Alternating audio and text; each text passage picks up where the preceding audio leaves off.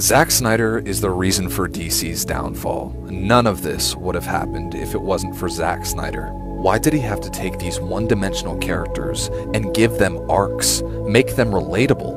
Why would we want to relate to the heroes that we look up to? I don't care about how and why Superman is hopeful, and I don't care about Snyder showing us why having a symbol of hope is so important in the world we have today. I don't want to see why Batman shouldn't kill, I just want Batman to not kill. I don't want to see an arc of him redeeming himself and becoming the best version of himself. I just want to see the one dimensional character from the comics put on the big screen. Is that too much to ask?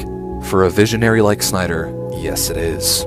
Snyder beautifully told a story about Superman trying to find his place in a world that doesn't want him, and him slowly becoming a symbol of hope by the end of Justice League, him having to die in order to become that symbol of hope in a world that does not want him.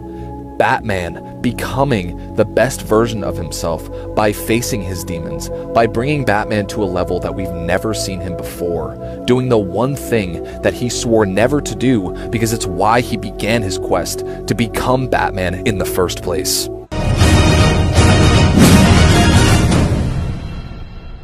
Man, the DCU has given me more turmoil than fucking Kanye West's therapist, but here we go. This is coming from Deadline. Will there be a complete reboot of DC's core cast? One studio insider tells us at no point was there any pre- preconceived notions of not continuing with these actors. It all boils down to how The Flash and Aquaman do at the box office. Not to mention the studio doesn't want G- Gadot, Gal Gadot to hang up Wonder Woman belt or Wonder Woman's belt.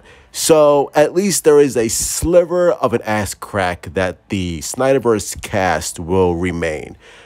Uh, uh cool. I guess I don't even know anymore, bro. I'm so traumatized by all this bullshit.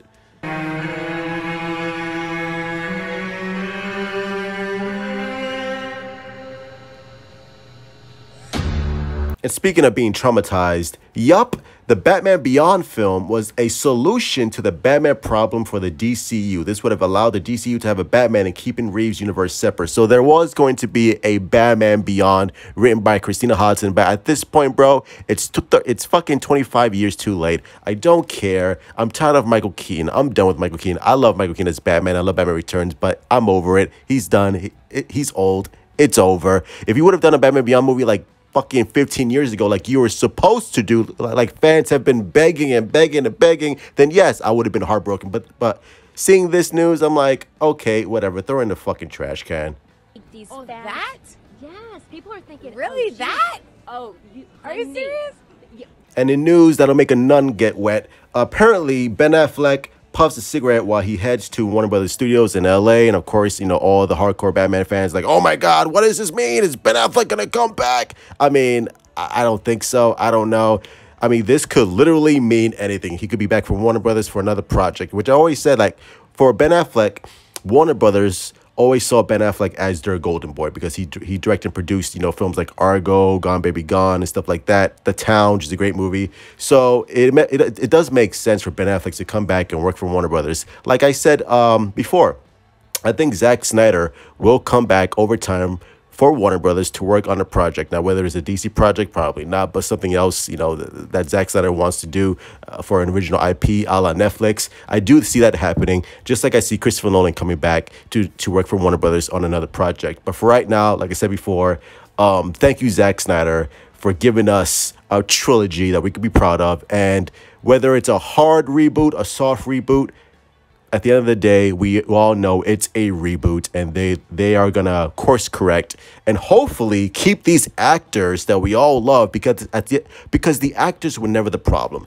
Say what you want about Zack Snyder and his storytelling and his interpretation of these characters. Nobody had a problem with the actors. The, the problem always came down to this is too dark, this is too controversial, I don't like Zack Snyder I don't like Zack Snyder's interpretation. And even though we, the community, loved what Zack Snyder did, the problem was the general masses did not. And that's that, that's what it always came down to. The the general population did not like Zack Snyder's interpretation of these characters of these characters. So that's why James Gunn Peter Safran is like, okay, what works and what doesn't work? What works is the cast. What doesn't work? Zack Snyder's story. Okay, so let's keep the cast and let's course correct and tell a new story that would fit into our DCU.